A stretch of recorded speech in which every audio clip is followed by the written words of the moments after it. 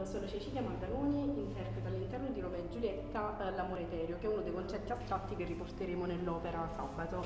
Eh, faccio danza da quando avevo 4 anni e adesso ne ho 23. Sempre con Seriana? Sempre con Seriana, è stato il mio unico amore e mm, è come una famiglia. Io cioè, purtroppo non studio qua, studio a Napoli, però appena posso... Tu sei un neoingegnere, no? Sì. Come si coniuga la- il tecnicismo dell'ingegneria con... Un danza, sì, e si colloca benissimo perché è proprio tutto quanto è un, cioè tutta quanto un'altra cosa, è un altro tipo di amore che è nato appunto quando avevo 4 anni e quindi si colloca benissimo anche se i miei studi sono totalmente diversi, anzi è proprio questo il bello, cioè che i miei studi trattano tutto di altro, invece torno qui e sono praticamente in famiglia. La difficoltà del personaggio, se c'è stato, perché mi dicevi di un'idea, rendere Sì, un'idea è... Rendere un'idea all'interno di un'opera come Romeo e Giulietta non è, non è semplice, spero di riuscire con questo, spero di riuscire nel miglior modo possibile. Era la stessa tua parte nella prima messa in scena? Ehm, diciamo che era anche eh, quella, però in realtà anche lì eh, era più un- un'amicizia tra me e Giulietta. Diciamo che in quest'altra opera si è ancora di più